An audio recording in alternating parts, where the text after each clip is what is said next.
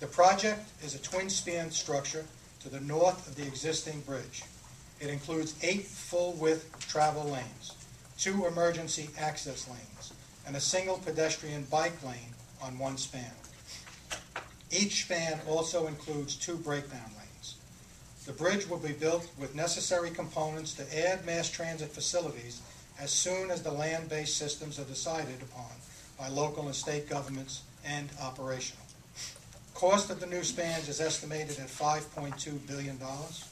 Construction will take between four and five years. Up to 10,000 design, direct on-site, and dedicated material and project facility jobs will be created. Another 10,000 or more induced jobs will be created in support areas like equipment, truck, auto, trailer sales and service, marine equipment, fuel supply, food services, office space requirements, housing, hotel use, staging area support, and so on.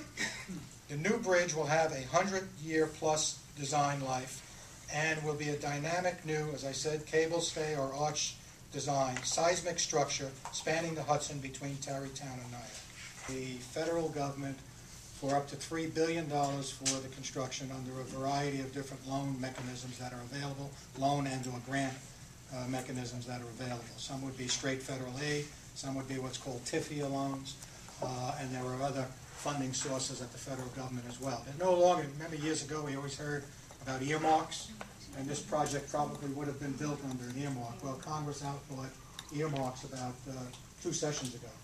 And uh, uh, now we have to go through this different process in order to find the funds. That's $3 billion of the money. The state government will apply some dollars, and then there's, uh, there's certainly going to be uh, some bonding for the project, uh, which will result in uh, higher tolls uh, for users of the bridge uh, in order to pay off that debt over a long-term basis. Could be 30 years to 45 years, whatever.